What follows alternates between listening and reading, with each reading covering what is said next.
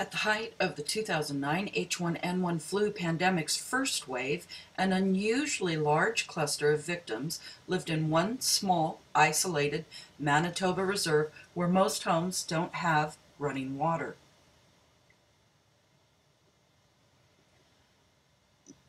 Hmm, St. Theresa Point First Nation had a wave of 175 cases of likely or confirmed H1N1 in the spring of 2009, according to a study kept secret by Health Canada until now.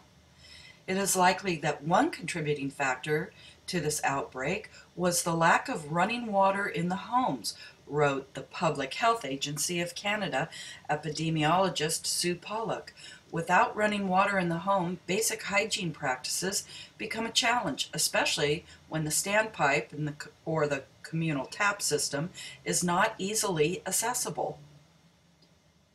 So here they're, they're blaming all this on the living conditions.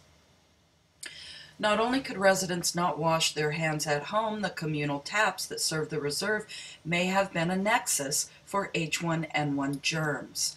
The area around the pump was littered with garbage, posing a potential health hazard, and the pump handle could have served as a means of transmitting the novel H1N1 virus, wrote Pollock. The heavily censored epidemiological study was released to the Winnipeg Free Press following an access to information request and a complaint to the Federal Information Commissioner. St. Theresa Point is one of four island lake reserves that have made national headlines for the last year. More than half the homes lack indoor toilets and taps, and overcrowding is epidemic. Critics have called Manitoba's on reserve water woes a national shame, and studies have detailed the damage dirty water and improper sewage disposal, what it does to the residents' health. But the latest H1N1 report is yet more evidence. The study covered an eight week period spanning April to June 2009 during the first wave of the global pandemic. That's when health officials were begging people to wash their hands often and to cough into their sleeves to try to control the virus. Of the 175 people in St. Theresa Point with confirmed or probable H1N1, most were children. That's likely a very conservative number, writes Pollock. It's likely many more were sick but didn't bother coming to the nursing station for treatment. During that period, 23 of the 173 H1N1 cases were confirmed by lab tests, usually because the patients were so sick they were medevaced to Winnipeg, where doctors could confirm the diagnosis. Uh, okay, so the reason why I, I'm bringing this up is here. Pollock did not return a call to comment on or to clarify her study.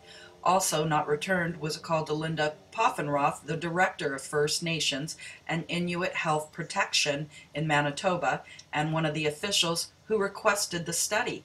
Media officials at Health Canada refused to allow anyone, including Poffenroth or Pollock, to be interviewed Wednesday and would not say why. What else can I say except you will not get an interview, said the spokesman, Gary Holub. Okay.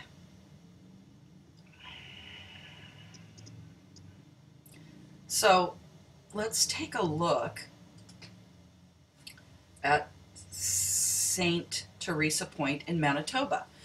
It's a remote Indian reserve of 2,632 people as of the 2006 census in northern Manitoba, Canada. The community is located on the southern shore of Island Lake, the sixth largest lake in the province. More than 5,400 people live in the area within a 40 kilometer radius. There are 478 housing units within the community. The community is only accessible by airplane or winter ice roads which continue north towards Garden Hill and southwest towards Manigotagan, with a branch leading towards Berens River. The community is served by the nearby, nearby St. Theresa Point Airport. Okay, so the community is pretty much locked off. It's only accessible by airplane or winter ice roads, and yet during the very first wave of the 2009 H1N1 epidemic, the small community was hit hard. And the report was kept secret. Why? Tell me why. Is it not obvious that they have something to hide? Like maybe they're doing their ethnic cleansing? Like they did in Mexico and South America? Well,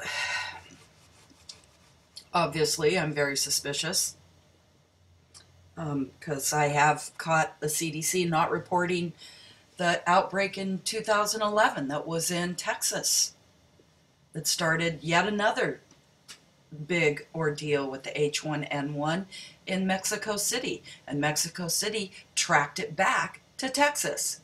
Did the CDC report the two people that had it, where it came from in Texas? No, they didn't.